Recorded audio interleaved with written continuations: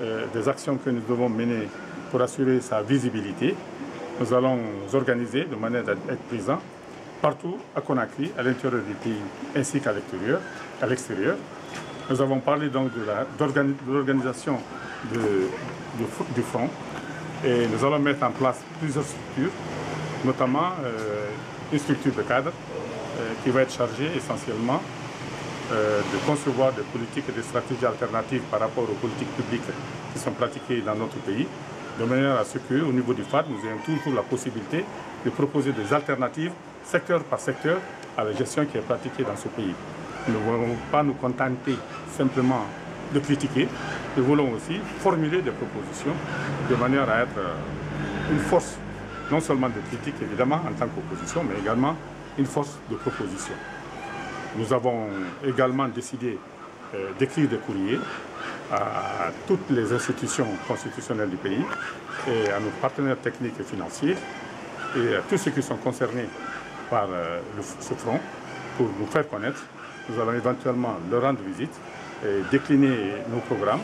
et faire en sorte que le front soit un acteur actif, si je puis dire, de la scène politique nationale, de manière à ce que notre vision soit connue de tous les Guinéens. Nous avons parlé de la crise que traverse la CENI.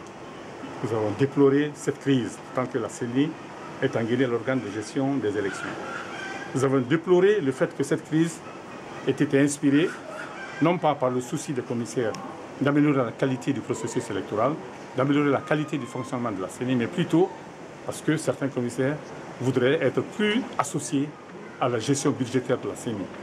Donc nous avons compris que c'est plus des questions d'apprêter au gain, du mercantilisme qui sont à la base de cette crise, et ceci est extrêmement grave. D'autant plus que les commissaires ont montré là, en tout cas la majorité des commissaires ont montré là, que leur souci, c'est si vous voulez, c'est l'enrichissement personnel beaucoup plus que la qualification du processus électoral.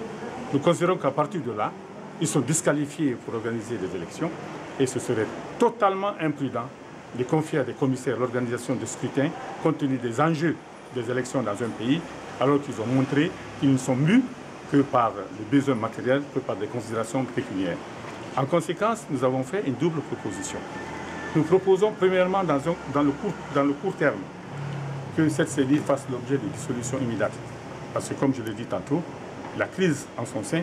qui a créé un bicéphalisme de fait, qui paralyse complètement l'institution, est inspirée plus par des considérations pécuniaires que par des questions d'amélioration de la qualité du fonctionnement de la CENI. Nous proposons donc que par un acte réglementaire, cette CENI soit dissoute par le président de la République et qu'après concertation avec la classe politique et la société civile, que de nouveaux membres soient désignés par les mêmes entités qui sont représentées au sein de cette CENI, euh, conformément aux dispositions de la loi 016 portant composition, organisation et fonctionnement de la CENI. Euh, le comité de suivi, par exemple, peut aussi servir de cadre à cette discussion, de manière à ce que euh, cette décision puisse être prise de façon consensuelle pour que la CENI sorte de cette situation de léthargie dans laquelle l'a plongé la crise. Parce qu'aujourd'hui, nous avons deux présidents de CENI, nous avons certainement des structures qui ne fonctionnent plus. Euh, nous avons des comptes bancaires qui ne peuvent pas être mouvementés. Bref, la CENI aujourd'hui est dans l'impasse la plus totale. Maintenant, nous proposons qu'à moyen terme, lors notamment d'une session extraordinaire du Parlement, qui peut être convoquée euh, dès le mois d'août, ou plus tard le mois de septembre, qu'on puisse examiner sur le fond la question de la CENI,